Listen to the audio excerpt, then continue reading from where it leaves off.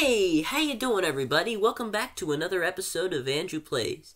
As always, I am your host Andrew Ambrose and I hope you're having a fantastic day. It's Tuesday right now, and I assume a lot of you are doing schoolwork right now or just finished or about to begin. And well, hopefully this little video will keep you entertained for if you're feeling down or you know, just bored one day. Anyway, we're back again with another rare game from back in the day that you've probably never heard of, unless you're like me and you're into obscure games like this. Today's game is another one of the uh, Nintendo Hudson collaboration from 1984, um, where Nintendo licensed um, their characters off to Hudson Soft so Hudson could make uh, PC games based on Nintendo's popular characters.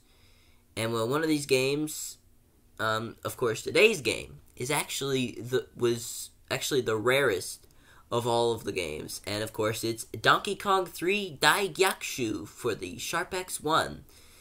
Um, so I'm pr- I'm pretty sure not many people know about Donkey Kong 3, but um, some some people may be familiar with it. But in case you're not, um, in 1983, after Nintendo uh, made a big hit with Donkey Kong Jr., after they made a big hit with Donkey Kong, they tried a third game in the series, and but instead of doing another platformer, they decided to make some sort of combination of a platformer and a shooting game.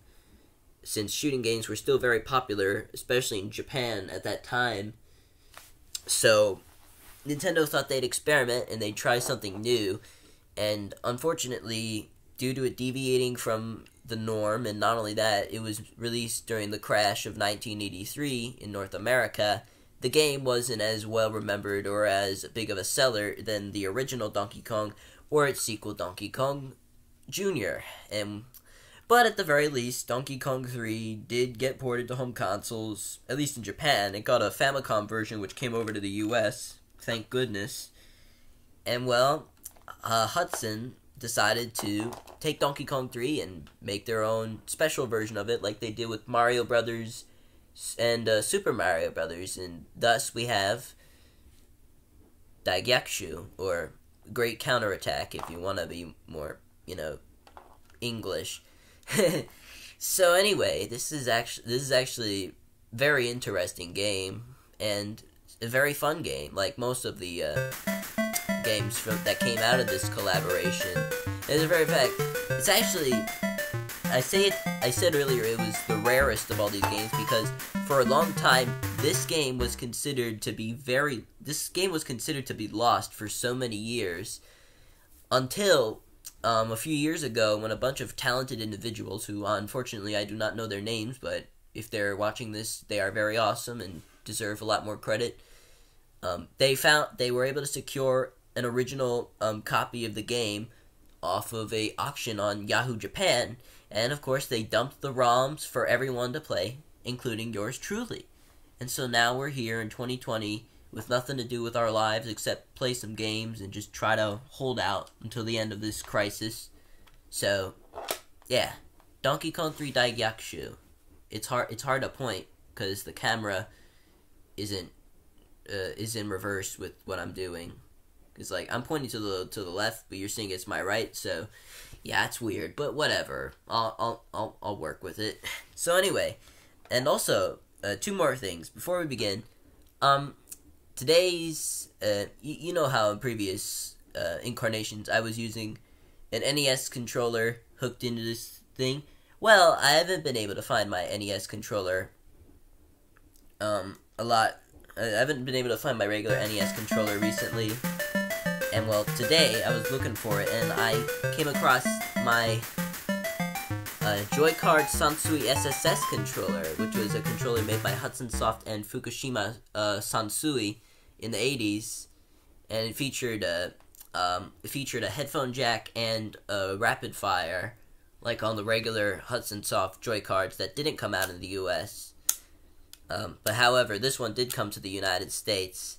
And well, I found this and I thought, you know, we're, since we're doing a Hudson Soft game, it would only seem appropriate we use this. Also because, well, besides the fact I was too lazy to find my regular Nintendo controller, but also because it's pretty sleek in its design. especially with the golden, it's like the Famicom controller. And it's pretty neat that Hudson was even able to get this to the United States, unlike with the other controllers that they made, unfortunately. But hey, what can you do? And on a final note, I just want to say, say a little something for one of my friends, Kitsune. Kitsune, Kitsune, Kitsune. I know you're going through some hard times right now, and I know you're not feeling so well, but all I have to say to you, Kitsune, is I'm there for you, buddy. Stay cool. Now, with that everything out of the way, let's begin the game.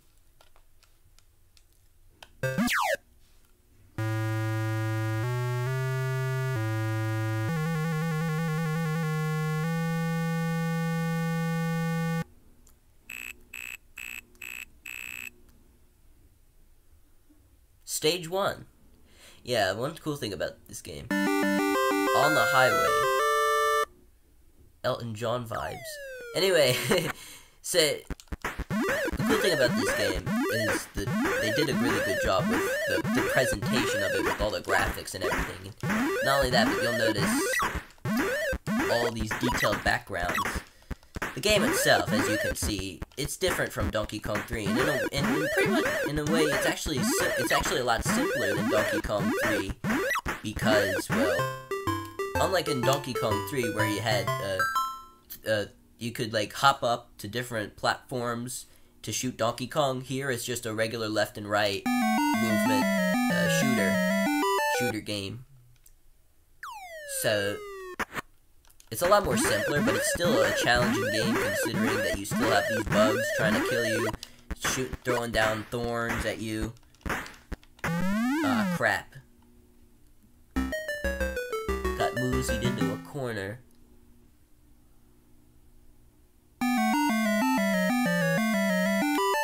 Yeah, it's, it's, actually a very, very weird game. Even for, like, Nintendo standards, at least in my honest opinion because everything seems so out of place here. Like this game has like a sci- like a 1950s science fiction movie feel. Because like there's like the strange bridge and like you can see in the background there's a there's a UFO and uh, actually I think coming up in this uh, right stage three we got uh on the country road. See you can see the moon and you can see UFO. I mean UFO obscured behind that uh, mountain over there. And they're these stupid worms. They were annoying in Donkey Kong 3, and they're even more annoying here. Although it's cute how they have their little jetpacks. Ah, crap. They freaking got me, dude. Yeah. Uh, You know, it's funny. We ju- we it's, we've been playing for about a few minutes, and I haven't even mentioned the game itself and how it works. Basically, in the original, just like in the original, you have to shoot Donkey Kong to the top of the screen. However, in the original, he was climbing down vines to re- to drop down upon Stanley. Here, he's floating down using two small uh, parachutes in his hands to slowly descend. And not only, and the yeah, and not only that, but in the original game, you were shooting spray at uh, Donkey Kong. This time, it's just regular bullets, unless that's supposed to still be insecticide. But it's but it looks like a regular bullet. So Wesley is just straight up shooting at Donkey Kong to get him to the top, which is pretty pretty freaky, if you ask me. Stage four. This, this is going to say, look, this look what this. The aliens. Oh my god! Yeah, this game gets weird. There, there are aliens in this game. They don't even do anything. They're just like sitting there. They're just looking at us like, hey, what the hell is this? What the hell is going on? What, what, what, what are we looking at? What is this? What is this crap? Seriously, we got much better things to do with our lives. Why are we looking at this? But anyway,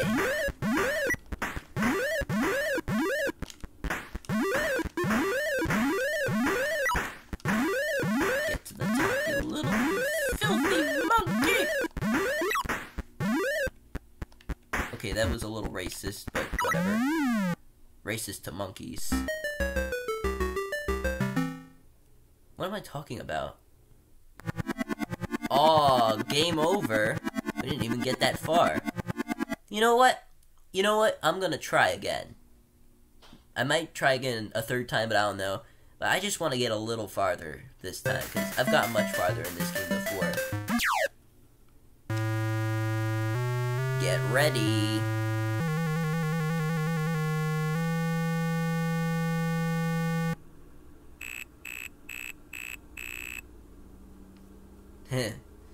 it's weird sounds when he shows his teeth. On the highway. The land of on the highway. Tiny Dancer by Elton John. Fantastic song. Listen to it if you ever get the chance. You won't be disappointed.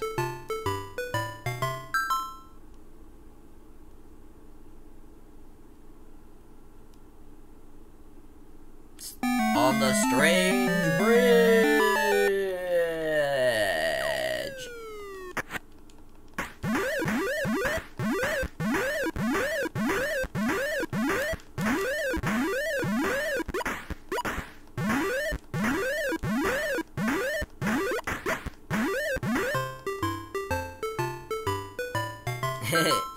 so anyway, um, yeah, it's like the original Donkey Kong 3. It's a good game. I don't know. I don't know what you guys like. Some people still hate Donkey Kong 3 with a passion, like it was a bad game. No, it wasn't a bad game. Just because something is different doesn't mean it's bad. Like it's like it's the same thing with Super Mario Brothers 2. It's like seriously, people, get over it. Speaking of which, Super Mario Brothers 2, not a lot of people know this for some reason, but a lot of the same people who worked on uh, the original Super Mario Brothers worked on the uh, Doki Doki Panic, which would eventually become the U.S. Super Mario Brothers 2. Like, like uh, Shigeru Miyamoto and Takashi, Takashi Tezuka were one of the main leaders of the project, and Koji Kondo provided the music of the game. So, and they, and pretty much the same roles as what they had with the the original Super Mario Brothers, except with Doki Doki Panic, they had a new guy, uh, Kensuke Tanabe, I think his name was. Yeah, I think he was new at Nintendo at the time, and well, they had him direct the project. But most of the same team from the original Super SMB1 worked on Doki Doki Panic, aka SMB2. So, uh, yeah. That's, that's about it. Stage 4.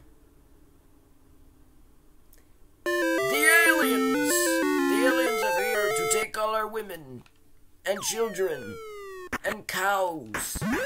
Never forget the cows. The cows are important to our survival. Milk and beef. Well, unless you can't eat beef if you're like, like a religion problem or if you're like veg- vegan or vegetarian, something like that. Then. But for everyone else, it's important. It's vital. And that was scary. Donkey Kong got really low there, and I'm gonna make sure he doesn't come low like that again. These damn worms, I hate those worms. Worms in general are, are a massive problem. Unless they're the ones in your garden that eat all the soil. Then those, those worms are cool. And so are gummy worms. Gummy worms are pretty nice, but although they're worms are just a nuisance, but if you like worms, then that's okay. More worms for you, I guess. Man, I talk about the stupidest things. talking about worms. I'm a pretty random guy. Like, if you know me in real life, you know I am I am so goddamn random. I'm such a random, weird, crazy man. But I'm very nice. And I like talking to people. May have Asperger's, but it doesn't stop me from wanting to talk to people because life gets boring and sometimes you need a good friend to talk to. Talk about stuff you like, like video games. Which is why I like, and I like video games, which is why I do this series where I play video games and talk to you guys about stuff. because that's ultimate. Because for me, that's the ultimate pleasure. Talking about playing games and talking about them with my friends. And he's almost at the top. If we could just squeeze a little more. There we go. Stage 5.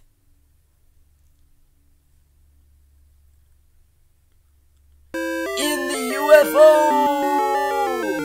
Look at those graphics, dude. Look at that design. They did a fantastic job on that. Written by ITA. Ita? Italia? Italy? Was this made game made by Italians? No, that was that was that was dumb. I apologize. Ooh, a flag. 10,000 points! Oh, like, when I was playing, I was playing this before, like, trying to test this to make sure it was working, and mm-hmm. I saw that flag, and I was like, hey, maybe this, like, gives me a power-up or an extra life or something, but no, it, it just, it, it just, you know, it's just another points thing. Uh-oh.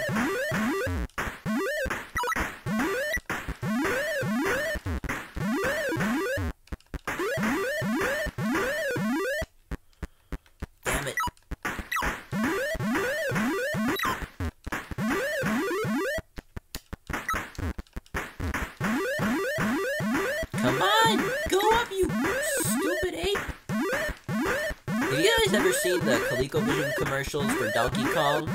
They like in the like you know Mario usually, wears an Armenian cap in pretty much every game he's ever been in. Well, in those ColecoVision commercials advertising Donkey Kong and even Donkey Kong Jr., like Mario is just this guy with a mustache that wears a fedora.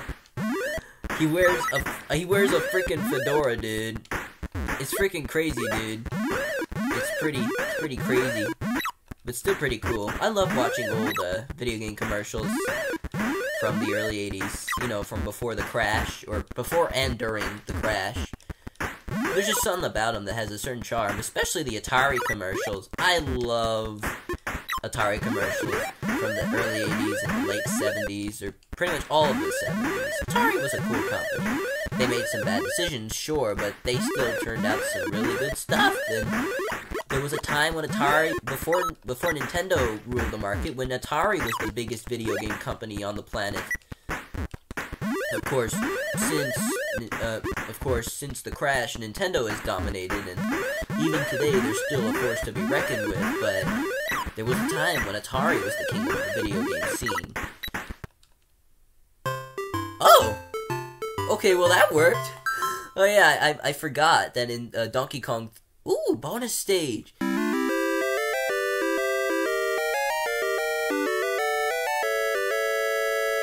Kick ass, dude.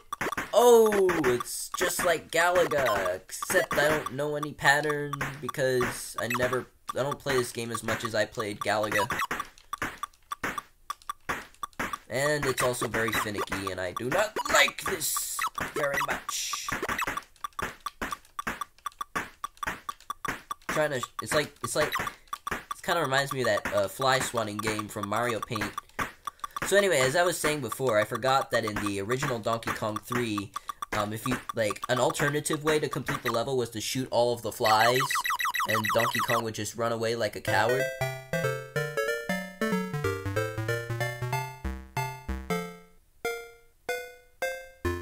Hey, that's pretty cool.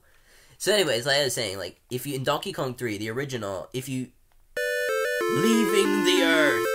Anyway, Donkey Kong Three in that game, if you shoot all of the flies, um, and all of them get killed, Donkey Kong will just run away like a little coward, and you'll finish the stage. It's really hard to do since there are so many, um, so many flies that come out of the little beat, out of the little hives.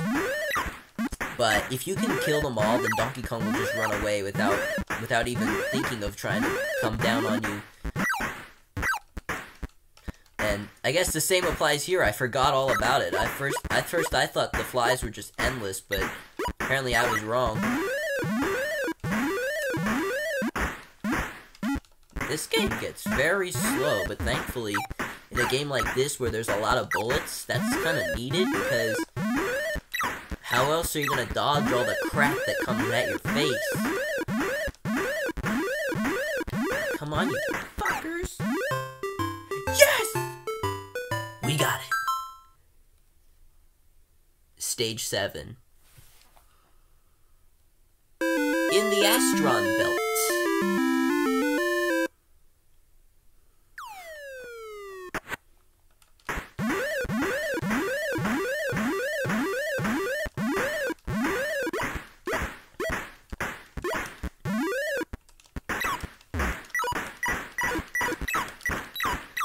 Damn worms, I hate those freaking things. Also, I can't help but notice that the bees in this game are a lot, a lot less deadly than in the uh, original game. Like in the in the game, if you shot the bees enough times, they would explode and the three little bees that could kill you if you if you didn't dodge properly. But in this game, they're just another enemy, except lot look a lot more menacing. But that's just about that's going for them in this game,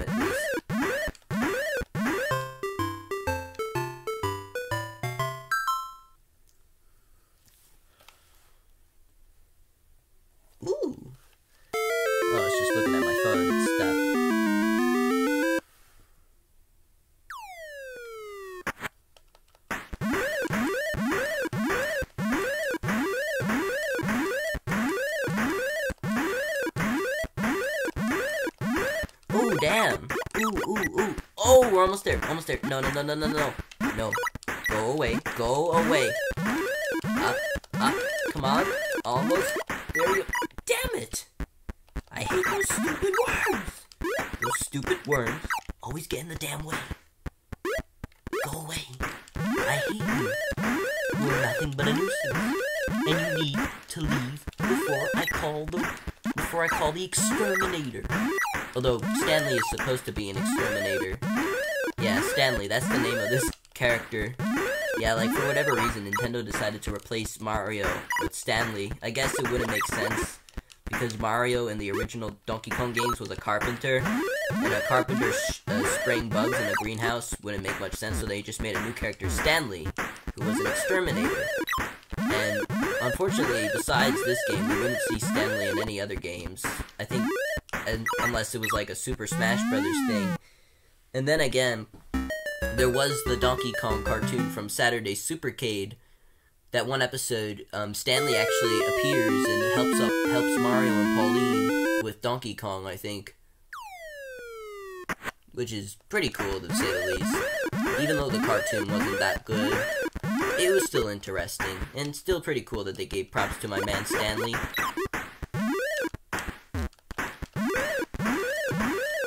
To the top with you, you dirty vermin! Wait, Donkey Kong isn't uh is a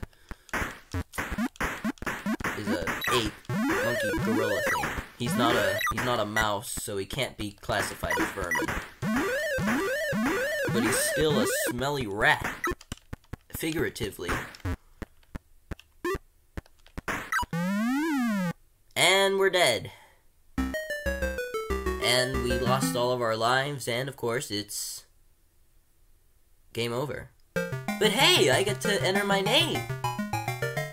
A new record for me.